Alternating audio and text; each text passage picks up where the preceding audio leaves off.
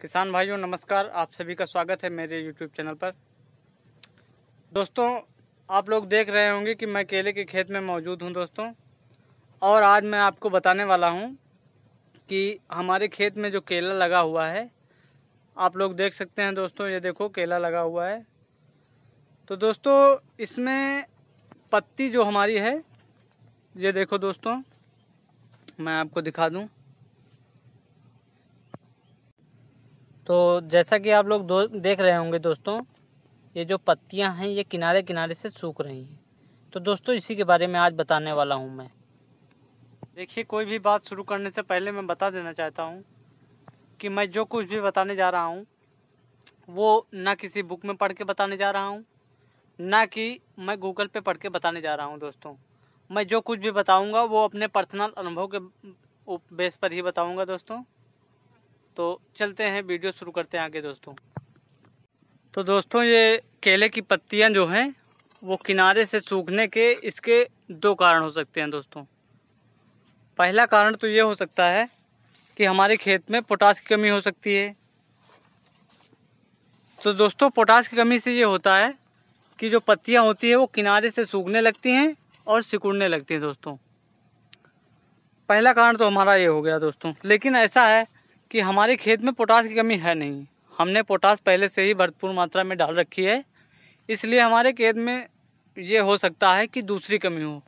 और दूसरी कमी दोस्तों ये होती है कि हमारा जो पौधा होता है, उसकी सोंकी जो होती है दोस्तों, इस सोंकी में एक कीड़ा बैठता है। उस कीड़े को दोस्तों बिटिल कहते हैं दोस्तों। हमारे यहाँ बिटिल कहते हैं या मछेछा कहते हैं। आपके यहाँ पता नहीं क्या कहते हों। कुछ भी कहते हो दोस्तों वो जो कीड़ा होता है, वो केले की जो घार होती है, उस पर, वो फूल में ही वो डंक डंक मारता है या उसका रस चूसता है दोस्तों तो उससे ये होता है कि केले की जो छीमी होती है, उस पर भी चित्ती बना देता है दोस्तों। तो हमारे केला जो होता है, उसकी क्वालिटी डाउन हो जाती है दोस्तों।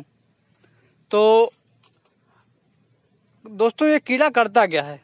इस कीड़े का दोस्तों काम है, ये जो हमारी सोंकी होती है, उसमें अंदर घुस जाता है दोस्तों। और उसकी जो मुलायम पत्तियाँ होती हैं या फूल होता है, कुछ भी होता है, उसका रस ये चूसता रहता है दोस्तों।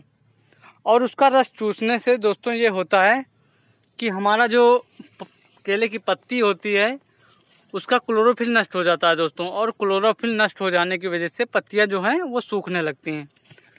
तो दोस्तों, केले की पत्तियाँ सूखने से उसमें का जो क्लोरोफिल नष्ट हो गया दोस्तों तो उस वो हमारे जो केले की पौधे की फ़ूड चेन है दोस्तों उसको बहुत प्रभावित करता है। दोस्तों केले में जो क्लोरोफिल होता है उसका काम होता है कि क्लोरोफिल की उपस्थिति में प्रका, प्रकाश संश्लेषण की क्रिया होती है जिससे हमारे पौधे में जो है वो भोजन का निर्माण होता है दोस्तों। तो हमारे पौधे के सुचारू रूप से चलने के लिए उसमें इसका क्लोरोफिल का बहुत महत्व है दोस्तों। और ये जो बिटिल होता है, इसका क्लोरोफिल ही चूसता है दोस्तों। तो इसके लिए हम सभी को पता है दोस्तों, जो वो आता है क्लोरोसाइफर या लेमडा साइक्लोथ्रीन दो दवाइयाँ मार्केट में उपलब्ध हैं, इसके लिए छिड़काव करते हैं दोस्तों। तो वही करना है हमें, ज़्यादा नहीं करना है, केवल सोकी सोकी में ही डाल देना है दोस्तों, बस। और उसके बाद दो तीन दिन बाद ही हमारी जो सोकी होगी वो अच्छे पत्ते के साथ निकलने लगेगी और उसमें कोई दाग धब्बा नहीं होगा और पत्तियाँ भी किनारे से नहीं सूखेंगी। तो दोस्तों, यही अनुभव आपको साझा करना था मुझे। इसी के लिए मैंने आप, आज का वीडियो बनाया है दोस्तों। उम्मीद करता हूँ कि आपको कुछ सीखने को मिला होगा। तो अगर आपको वीडियो अच्छा लगा हो दोस्तों तो कमेंट में ज़रूर बताएँ। और अगर आपको भी कोई समस्या है या कोई सुझाव देना है तो मुझे कमेंट में दे सकते हैं दोस्तों। नमस्कार। बस इसी तरीके से दोस्तों सौंकी सौंकी में केवल मार देना है दोस्तों। और सौंकी सौंकी में ज़्यादा नहीं, बीघे में एक टंकी ही पड़ेगी दोस्तों, और मार देने से, इतना छिड़काव कर देने से ये बिल्कुल ख़त्म हो जाएगा, और इतना अच्छा पत्ता निकलेगा दोस्तों, कि क्या बताएँ दोस्तों।